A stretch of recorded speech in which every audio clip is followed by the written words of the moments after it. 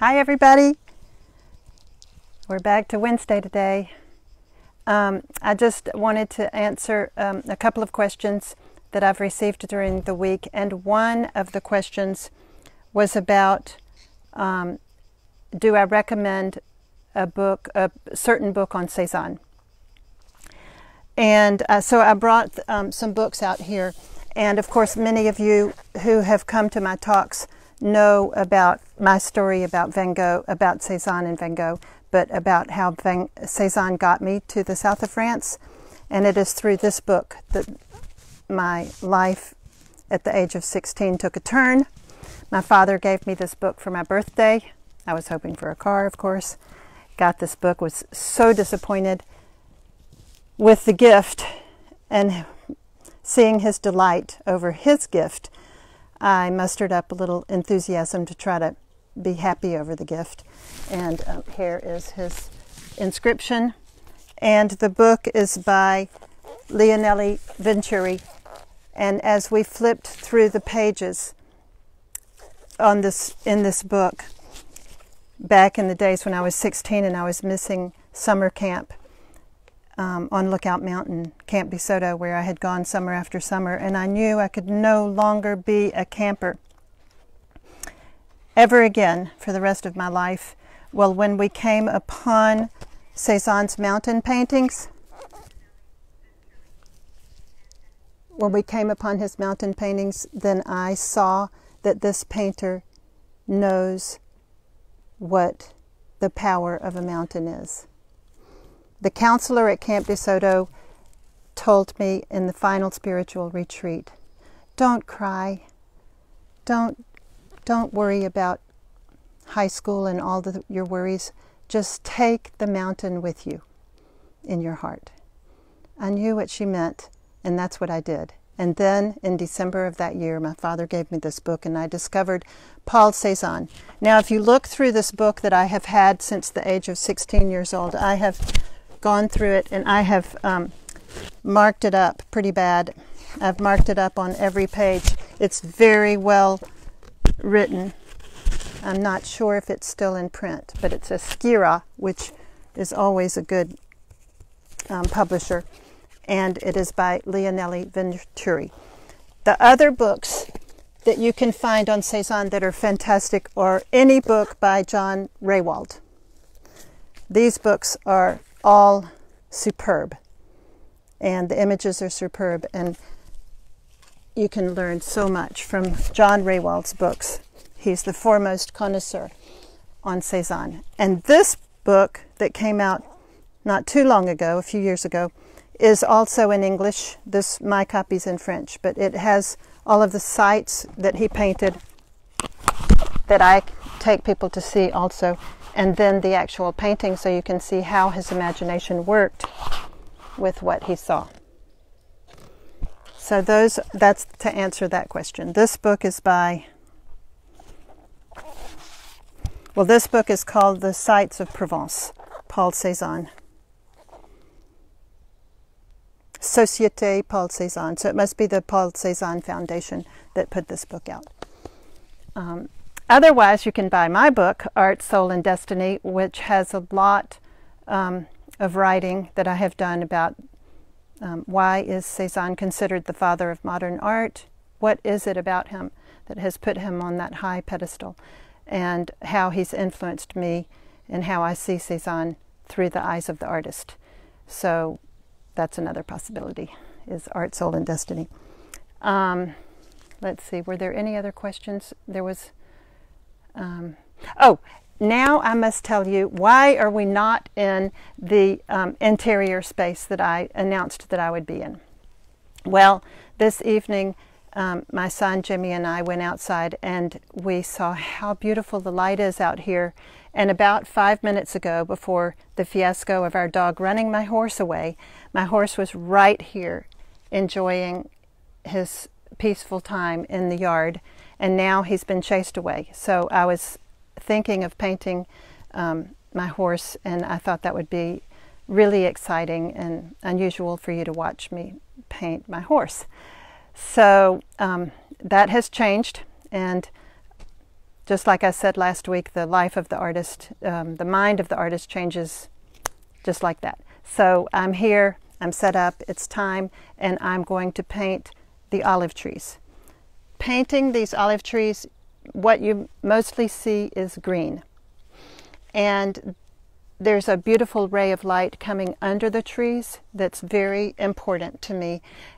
And also, it's important because I feel that um, Vincent van Gogh is going to be with me while I paint this painting. He did so many paintings of the olive trees in Saint Remy, and so I, I often feel a connection with him and I listen to um, his spirit when I'm painting, and I can feel those brushstrokes helping me with my brushstrokes. So I will try to try to climb on the shoulders of Vincent van Gogh as I um, bring this scene into being.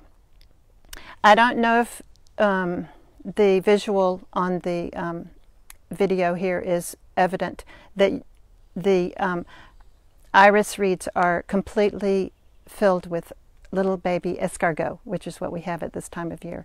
And it's causing, it's bringing light down into nature. And it's what I love about July is these tiny little white escargot that look like snow has come into my garden and turned my garden into a shell garden. All right, here we go.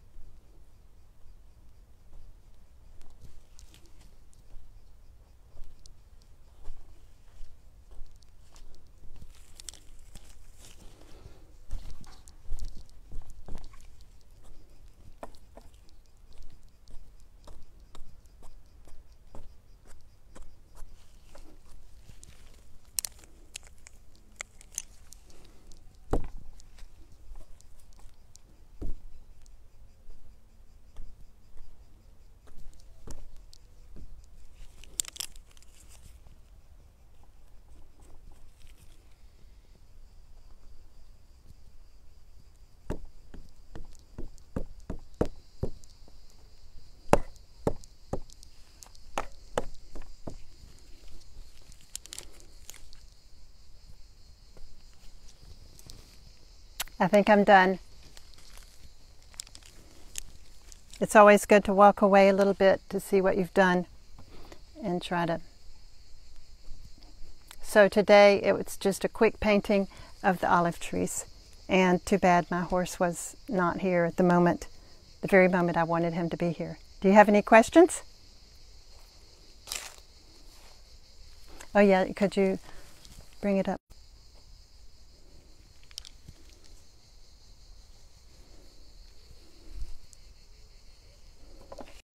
Windy and too hard to do it outside, then I will definitely work on the second session of the big painting in the interior space.